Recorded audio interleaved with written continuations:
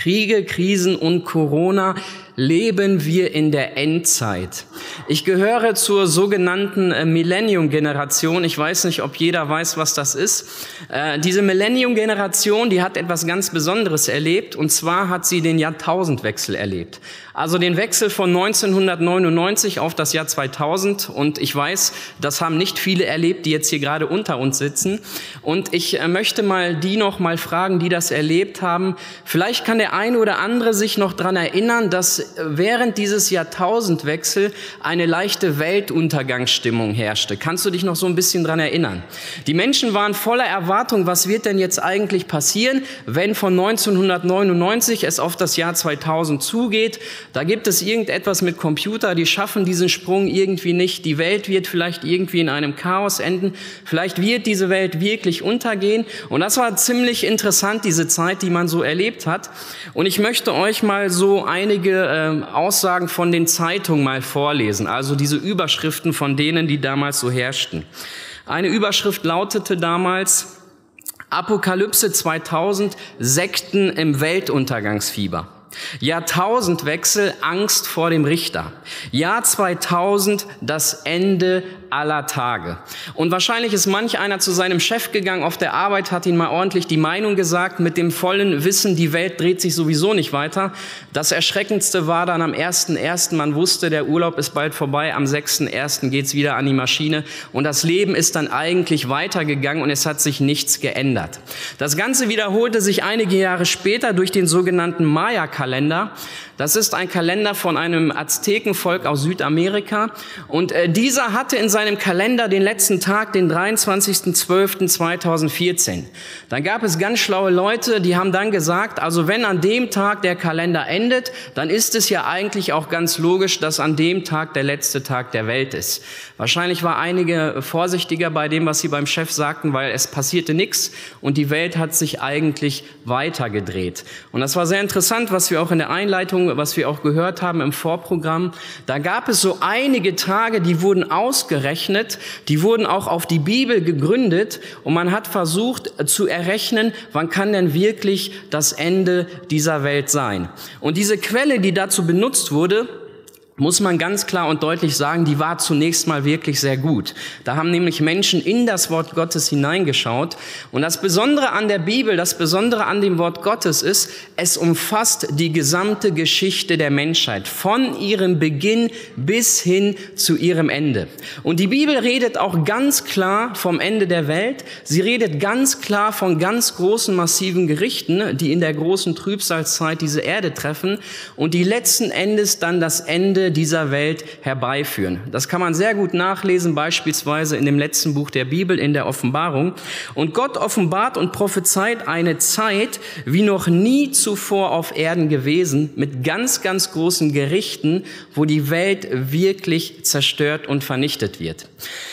Und genau darüber möchte ich auch heute mit euch reden. Was sagt denn eigentlich die Bibel dazu? Ich möchte gemeinsam mit euch einiges aus dem Wort Gottes anschauen und ich möchte uns mal dazu herausfordern, kann es vielleicht sein, dass wir von diesen Dingen gerade heute in dieser Gegenwart etwas davon mitbekommen? Und kann es vielleicht sein, dass wir uns in einer Zeit befinden, die unmittelbar davor steht, dass der große Gerichtstag des Herrn kommt? Ich möchte dazu mal auf einige Aussagen zu sprechen kommen, die Jesus Christus gesagt hatte. Jesus Christus ging mit seinen Jüngern sehr oft spazieren und an einem Tag ist Jesus Christus mit seinen Jüngern an einem Tempel, an diesem großen Tempel vorbeigegangen. Und einer von diesen Jüngern war total begeistert von diesen ganz großen Bauten, was die Menschen da hergestellt haben.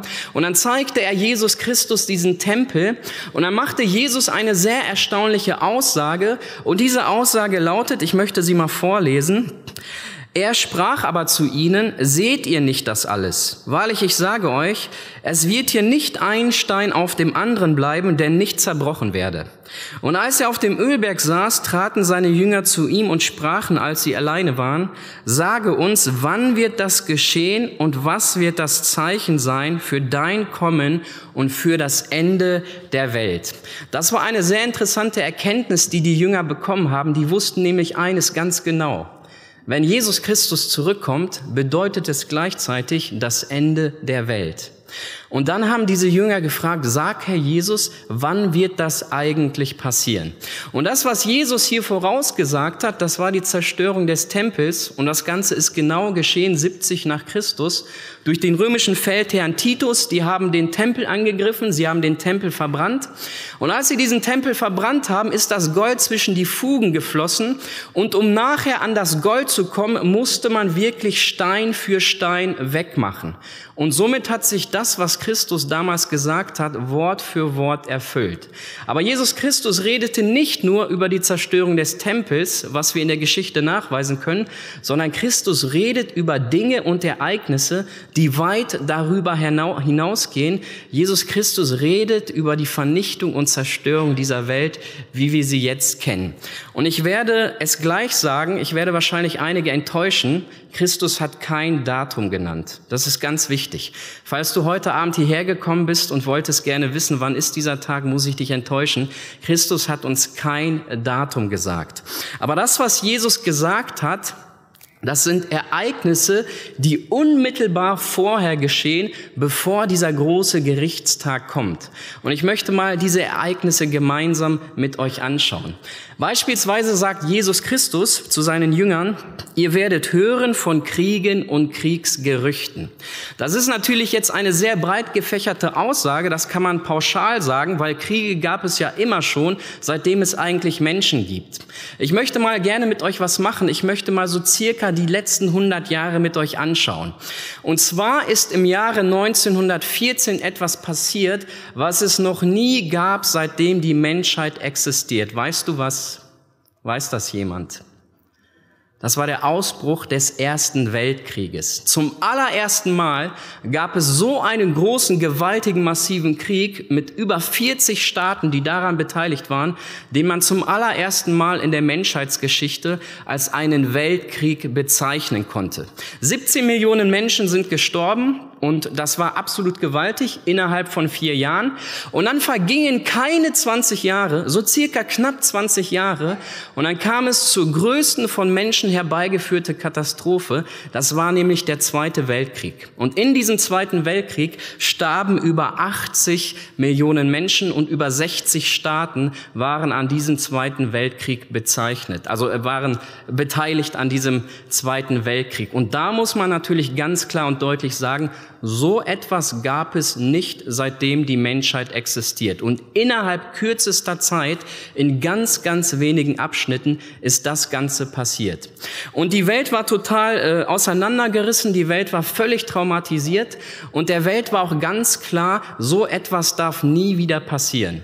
Und dann gab es einige Friedensbemühungen, aber das, was letzten Endes passiert ist, war der sogenannte Kalte Krieg. Es folgte ein Wettrüsten zwischen Russland und den Vereinigten Staaten und man muss auch sagen, man befand sich eigentlich nicht wirklich in einer Friedenszeit.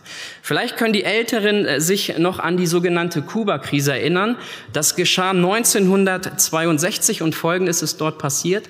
Da haben die Russen in Kuba Atomwaffen Richtung USA stationiert. Und zum allerersten Mal hatte die Welt Angst vor einem Atomkrieg. Die Welt hatte wirklich Angst und wusste genau, wir stehen kurz vor einem Atomkrieg. Und dann gab es einige diplomatische Gespräche, man konnte das Ganze regeln. Das hat sich äh, nicht bewahrheitet, dass man einen Atomkrieg erlebt hat. Aber ziemlich interessant war, wenn man in die Bibel hineinschaut und von Kriegen und Kriegsgerichten hört und auf einmal denkt, wir stehen vor einem Atomkrieg. Ich glaube, dann wird das Wort Gottes eigentlich ziemlich lebendig. Ich war gerade mal zehn Jahre, ich saß vor dem Fernseher, ich verfolgte die Nachrichten und ich hörte einen deutschen Politiker die Worte sagen, wir stehen vor einem Krieg. Und dieser Krieg ist auch passiert, das war der Golfkrieg von 1991. Kann sich wahrscheinlich auch noch der ein oder andere erinnern. Ich habe die Bilder von den Nachrichten noch ziemlich gut im Kopf. Jetzt kann man natürlich sagen, na ja, der Irak ist ja ziemlich weit weg, aber fast zeitgleich gab es mitten in Europa den Jugoslawienkrieg. Und die Bomber der NATO flogen über Europa rüber, zerbombten Jugoslawien. Viele Menschen sind gestorben. Es gab ganz, ganz viel Elend. Und da hat man als kleines Kind, der ich vor dem Fernseher saß, gemerkt, was es bedeutet, wenn Krieg in der Welt eigentlich herrscht. Aber wie sieht das Ganze denn so aus? Wie hat sich das Ganze denn weiterentwickelt? Es gibt in Heidelberg ein Institut für Konfliktforschung und dieses Institut hat ausgerechnet, hat recherchiert, dass es im Jahre 2011 so viele Kriege gab, wie seit dem Zweiten Weltkrieg nicht mehr. Alleine im Jahre 2011. Wisst ihr, was drei Jahre später passiert ist? Da kam es zur sogenannten Krim-Krise. Die Krim-Krise war am Gange. Was passierte? Irak- und Syrien-Konflikt. Irak- und Syrien-Konflikt war ein absolut gefährlicher Konflikt. Warum? Weil an diesem Krieg Großmächte beteiligt waren. USA, Frankreich, Saudi-Arabien, Türkei, China. Solche Länder haben sich letzten Endes dort in Irak und Syrien bekriegt. Und ich möchte mal die Aussage von einem Reporter vorlesen, der sagte Folgendes. Es ist dieselbe Situation wie vor dem Ausbruch des Ersten Weltkrieges. Es ist ein Pulverfass und es braucht nur einen Funken, um zu explodieren. Das war eine wahnsinnig gefährliche Situation. Und für die, die es noch nicht wissen, Irak- und Syrien-Konflikt ist immer noch nicht vorbei. Und das, was wir jetzt erleben, wenn wir jetzt die Nachrichten mal anschauen, wir befinden uns in einem absolut ganz, ganz großen Krieg. Wir befinden uns in einer sehr gefährlichen Lage. Das ist der Ukraine-Krieg. Und ich weiß nicht, ob du die Nachrichten verfolgst. Ich weiß nicht, ob du mal so ein bisschen schaust. Viele Christen machen das gar nicht mehr. Kann ich auch verstehen. Und da gibt es sehr interessante Überschriften. Und diese lauten manchmal, stehen wir vor einem dritten Weltkrieg. Dann gibt es Diskussionen von Politikern, die sagen, es ist absolut gefährlich. Da braucht nur ein Schuss auf ein Land der NATO kommen und wir stehen mitten in einem Weltkrieg. Und das ist die Situation, in der wir uns befinden. Und das ist das, was Christus vor 2000 Jahren gesagt hat. Ihr werdet hören von Kriegen und Kriegsgerüchten. Ich möchte noch mal eine Aussage von Jesus aus der Endzeitrede nehmen. Er sagte Folgendes, es werden Schrecknisse über diese Erde kommen. Und dieses Wort Schrecknisse, das kann man auch übersetzen mit Terror. Und der 11. September 2001, der hat etwas in der Welt bewegt, was es zuvor auch nicht gab. Das war der offizielle Startschuss für den weltweiten Terrorismus. Auf einmal hast du mitten in Deutschland, mitten in Europa von Selbstmordanschlägen gehört. Das gab es vorher nur im Nahen Osten. Und das ist mitten in Deutschland, mitten in Europa angekommen. Und das hat die Welt massiv verändert. Ich möchte mal einiges vorlesen, was so in den letzten Jahren passiert ist. Im März 2004 explodierten in Madrid zehn Bomben. Es gab 191 Tote. Im Juli 2005 sprengten sich Selbstmordattentäter in London in die Luft. Es gab fast 60 Tote. Im November 2015 töteten Terroristen in Paris 130 Menschen. Und das ist eine absolute Steigerung von Terrorismus in den letzten 20 Jahren, wie man das zuvor noch nie gesehen hat. Und das ist die Zeit, in der wir uns befinden.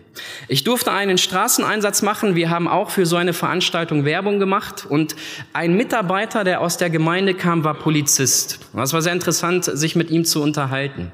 Und dann kamen wir so ins Gespräch und dann sagte ich ihm, na ja, du hast ja schon mit komischen Leuten zu tun, wenn du so Polizist bist. Da sind ja schon ganz so Kriminelle dabei, oder? Und dann sagt der Kriminelle, das sind Leute, die teilweise bis zu 60 Vorstrafen haben. Weißt du, was das bedeutet, wenn ein Mensch 60 Vorstrafen hat? Und er redet nicht von Leuten, die 60, 70 Jahre alt sind, er redet von Leuten, die gerade mal 20 sind. Und mit diesen Leuten hat er auf der Straße zu tun.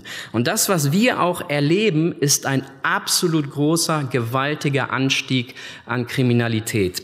Ich möchte mal etwas vorlesen der Bürgermeister aus Mannheim hat im Jahre 2015 einen Brief an den Innenminister geschrieben und dort schrieb er, es gibt hier circa 40 Teenager unter 14 Jahren, die sind höchst kriminell und wir kriegen sie nicht in den Griff.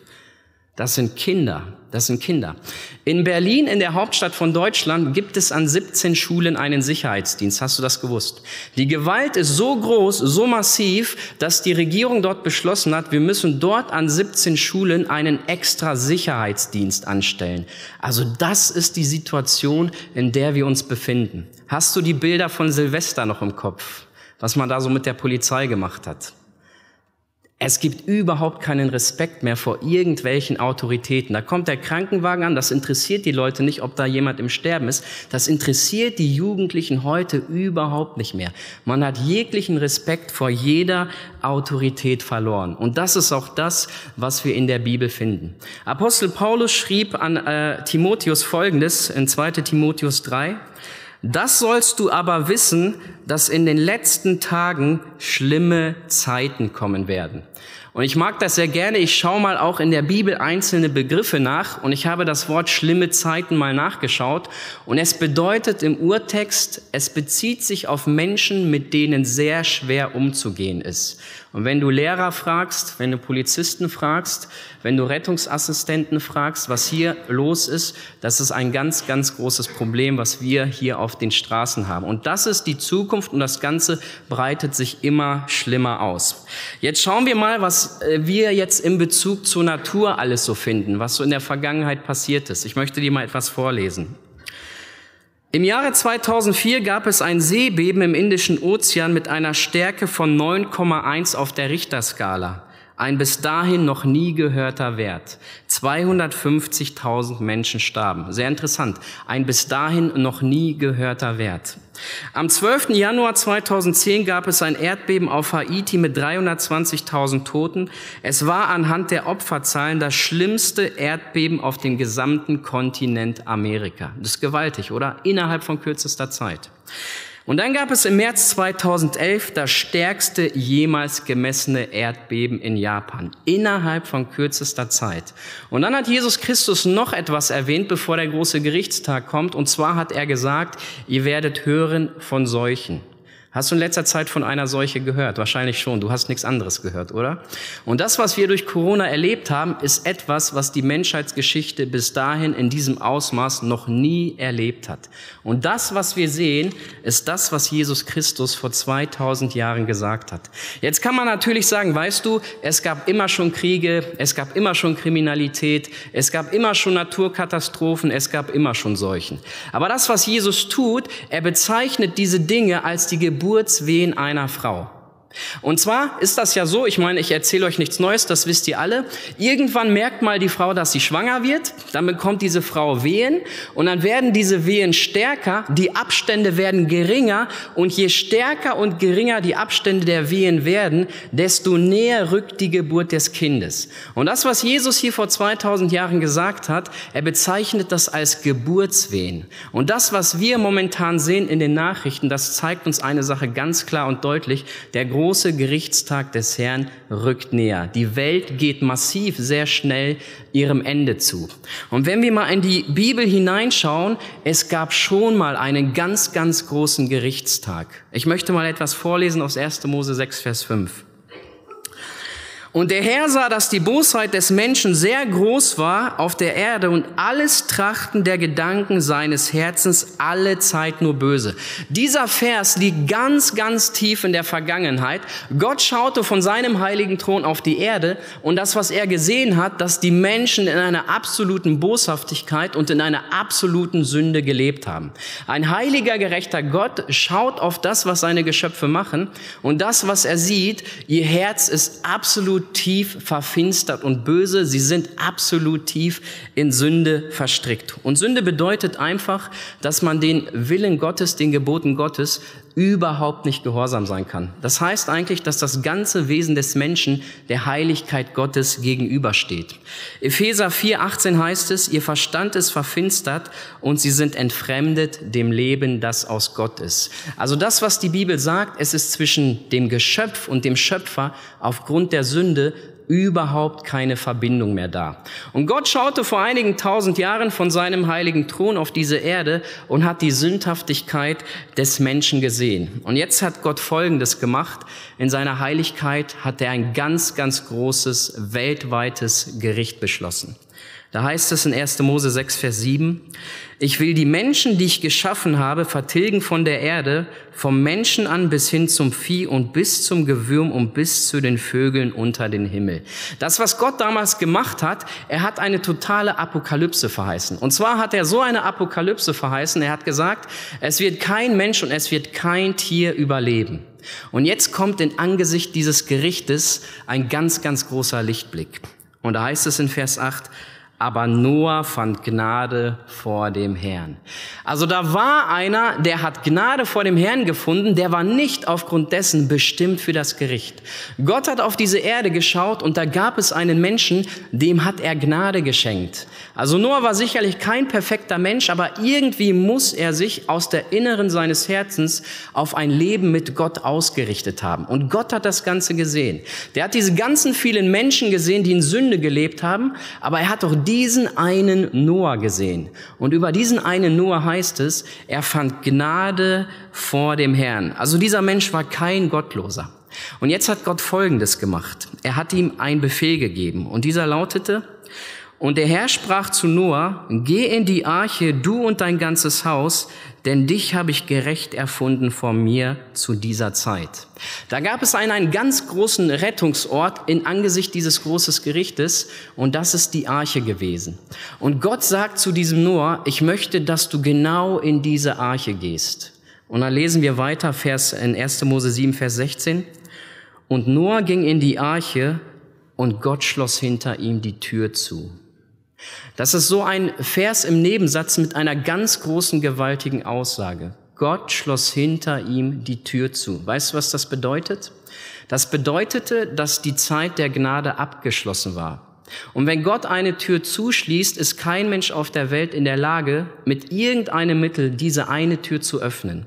Und da lesen wir über diesen Noah, er ist in diese eine Arche gegangen und Gott schloss hinter ihm diese Tür zu. Das heißt also, es gab für die anderen Menschen, die übrig geblieben sind, keinen Ort der Rettung mehr. Und jetzt stell dir mal Folgendes vor, ich möchte euch mal mit in diese Zeit nehmen über die anderen Menschen, die nicht in die Arche gegangen sind. Die standen in ihrem Garten, die sind ihrer Arbeit nachgegangen, die haben ihren Alltag so gelebt und auf einmal fing es an zu regnen an einem Tag. Regen haben sie wahrscheinlich vorher schon auch erlebt, aber das, was diese Menschen an dem Tag erlebt haben, dass der Regen sehr, sehr stark gewesen ist. Und es regnete, es regnete weiter und die Leute merkten, wir können der normalen Arbeit auf dem Feld gar nicht mehr nachgehen, wir müssen uns irgendwo in Sicherheit bringen. Und dann sind die Leute ins Haus gegangen und dort vom Haus aus haben sie aus dem Fenster geschaut und da haben sie ihren kleinen Bach gesehen, der durch den Garten geflossen ist und mussten mit Erschrecken feststellen, dass dieser Bach ganz, ganz groß gestiegen ist und dass dieser Bach mittlerweile zu einem reißenden Fluss geworden ist. Und dann stand das Vieh dort im Garten und die Flut war so groß, dass die Viecher mit diesem Flut hin fortgerissen wurden. Und auf einmal erschlich manch einem die Panik. Das Wasser stieg immer mehr. Mittlerweile kam es in das Haus. Und aus Angst vor diesen Fluten sind die Menschen auf die Dächer geflüchtet. Und als sie dort auf den Dächern standen, haben sie nichts weiter gesehen als überall Wasser. Und auf einmal kann es vielleicht gewesen sein, dass wirklich manch einer irgendwelche Leichen dort gesehen hat. Das war der Nachbar, das waren vielleicht sogar Verwandte. Und dann wussten die Menschen ganz genau, wir haben ein ganz, ganz großes Problem. Und dann kann es sein, dass manch einer dort auf dem Dach stand und dass manch einer an diesen Noah gedacht hat. Und dann kann es vielleicht sein, dass manch einer gesagt hat, weißt du noch, da gab es doch diesen einen komischen Noah. Der hat doch diese eine Arche gebaut. Der hat doch immer erzählt, dass Gott ein Gericht schenkt. Weißt du was? Ich glaube, dort müssen wir hin zu dieser Arche und dort finden wir Rettung. Und ich bin überzeugt davon, dass manch einer versucht hat, sich auf den Weg zu machen, aber ich bin 100% überzeugt davon, dass kaum einer durch die Fluten zur Arche gekommen ist. Und wenn es irgendeiner geschafft hat, mit irgendeinem Boot auf irgendeine Art und Weise dort zu dieser Arche zu kommen, dann stand dieser Mensch vor einer verschlossenen Tür. Warum? Weil Gott die Tür verschlossen hat und weil die Zeit der Gnade vorbei war. Und hat sich manch einer auf dem Weg gemacht, hat manch einer geklopft, aber das, was diesen Menschen letzten Endes passiert ist, sie sind in diesen großen Fluten des Gerichts umgekommen. Jetzt stell dir mal vor, da kam dieser Befehl von Gott an Noah. Und Gott sagte diesem Noah, du sollst eine Arche bauen, und zwar aus dem Grund, weil ich beschlossen habe, ich werde ein ganz, ganz großes Gericht über die gesamte Welt bringen. Und dann fing dieser Noah an einem Tag an, diese Arche zu bauen. Der ist mit seinen Leuten dorthin gegangen, die haben Äxte gehabt, die haben die Bäume gefällt und dann fingen diese Leute an zu bauen. Und dann kann es sein, das muss ja ein sehr großer Platz gewesen sein, dass da immer wieder Leute entlang gegangen sind, dass sie Tag für Tag gesehen haben, dass dieser Noah irgendetwas Komisches vorhat. Und dann kam Noah mit diesen Menschen ins Gespräch und dann musste Noah denen die schreckliche Botschaft bringen, Gott wird eine totale Apokalypse über diese Erde einführen und alles wird vernichtet. Und dann könnt ihr euch sicherlich vorstellen, wie die Reaktion von diesen Menschen gewesen ist, oder? Die haben diesen Noah natürlich verlacht. Das ist genau das, was mir als Christ auch passiert, wenn ich den Menschen sage, das, was wir alles sehen, das kündigt den großen Gerichtstag des Herrn an. Was sagen die Menschen dann? Nein, es kommt kein großer Gerichtstag. Ich habe mal mit einem unterhalten und er sagte mir Folgendes, wir haben über die Corona-Krise geredet und er sagte dann einfach nur, wir haben den Ersten und Zweiten Weltkrieg geschafft, wir werden das auch schon schaffen. Also dieser Mensch versteht überhaupt nicht, in welcher Zeit wir uns eigentlich befinden. Und ich glaube, zur Zeit Noah ist es ganz genauso gewesen. Der hat wirklich diese Arche gebaut, der ist dem Befehl Gottes gehorsam gewesen und die anderen Menschen haben gelacht. Sie haben einfach nur gelacht, sie haben gedacht, Mensch, was ist dieser Noah für ein komischer Typ? Was macht er da eigentlich? Er erzählt was von einem Gericht, er baut da ein Riesenschiff, der soll doch letzten Endes eigentlich sein Leben leben. Und dann haben sie ihn verlacht, bis zu dem Tag, als er in die Arche gegangen ist, bis zu dem Tag, als es anfing zu regnen. Und dann haben diese Menschen wahrscheinlich nicht mehr gelacht. Wisst ihr, was das Besondere an der Arche war? Die Arche war der einzige Ort von Gott erwählt, wo seine Gerichte nicht greifen konnten. Die Arche war der einzige Ort von Gott erwählt, wo der Mensch Zuflucht vor dem Gericht fand. Und jede andere Möglichkeit, die der Mensch damals gesucht hat, war von Anfang an zum Scheitern verurteilt. Warum? Weil Gott gesagt hat, es gibt einen einzigen Ort. Und die Gerechten gehen dort rein und dann werde ich die Tür zuschließen. Und jeder, der von außen steht und klopft, wird dort keinen Eingang finden. Warum? Weil die Zeit der Gnade vorbei ist. Und dieses Holz der Arche weist auf ein anderes Holz hin. Und das ist ein Kreuz, das vor 2000 Jahren auf einem Hügel in Israel stand. Und wisst ihr, was das Besondere von diesem Holz war? Es war der einzige Ort, wo der Mensch Zuflucht vor dem Gericht Gottes findet. Es war der einzige Ort, wo Gottes Gnade herrschte und es war zeitgleich der einzige Ort, wo Gottes gewaltiges Gericht herrschte. Damals, als Gott die Sinnflut geschenkt hat, da war jeder Quadratzentimeter der Welt befleckt mit dem Wasser. Vor 2000 Jahren hat Gott nochmal ein Gericht geschenkt, aber diesmal traf es nicht die gesamte Erde, sondern einen einzigen Mann, der an einem Kreuz hing. Und das ist sein einziger Sohn gewesen. Und das ist das, was Jesus Christus und die Arche gemeinsam haben. Es ist der einzige Ort, wo der Mensch Zuflucht findet vor dem Gericht Gottes.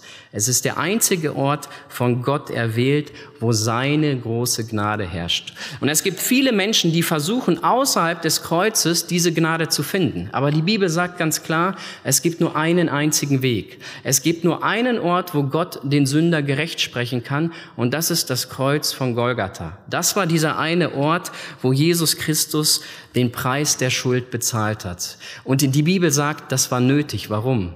Wir haben es mit einem heiligen, gerechten Gott zu tun. Und dieser heilige, gerechte Gott hat gesagt, ich werde keine einzige Sünde im Himmel dulden. Das heißt ganz konkret, wenn ein Mensch in den Himmel kommen möchte, darf an ihm keine einzige Schuld zu finden sein. Aber wie kann der Mensch das machen? Gott hat das gemacht, indem er den einzigen sandte, der keine Sünde getan hat. Und der bezahlte stellvertretend diesen Preis. Und wenn ein Mensch jetzt Folgendes tut, wenn er mit seiner Schuld zum Kreuz geht, wird ihm die Gerechtigkeit Jesu zugesprochen. Und wisst ihr, was dann passiert? Der Mensch steht heilig, makellos und untadelig vor dem Angesicht des Vaters. Und das ist das, was Jesus Christus am Kreuz möglich gemacht hat. Das ist das, was Gott den Menschen hinterlassen hat. Und das ist das Wort der Versöhnung, das wir hier die letzten Tage predigen. Und ich fand das schön, dass gestern nach der Botschaft auch einige kamen und die haben dieses Rettungsangebot angenommen. Ich stelle mir Folgendes vor, als ich heute Nachmittag über die Predigt nachgedacht habe, da kam mir so ein Bild in den Kopf. Stell dir mal Folgendes vor, Gott würde jetzt den geistlichen Vorhang wegreißen und er würde uns einen Blick in die Ewigkeit schenken. Und ich denke jetzt bildlich. Ich denke bildlich, das steht nicht in der Bibel.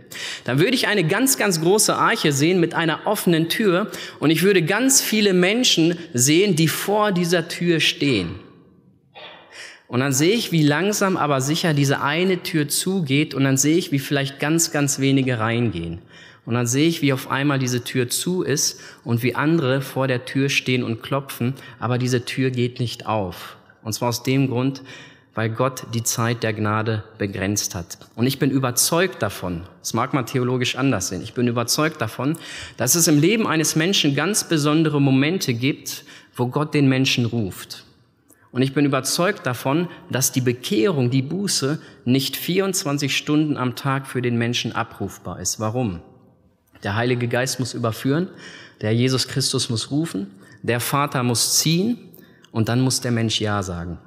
Und irgendwann ist die Zeit der Gnade vorbei. Diese eine Tür schließt sich zu. Und dieser Noah hat dieses Rettungsangebot angenommen. Und genau wie Noah diesen einen Schritt gemacht hat, in die Arche gegangen ist, genauso muss der Mensch zum Kreuz mit seiner Schuld. Und dort wird Gott den Menschen gerecht sprechen. Dort wird Gott dem Menschen alle Schuld vergeben. Und dort hat der Mensch die Garantie, dass er nicht mehr in das Gericht Gottes kommt. Und das ist ein absolut wahnsinniges Gnadenangebot, was Gott uns hinterlassen hat.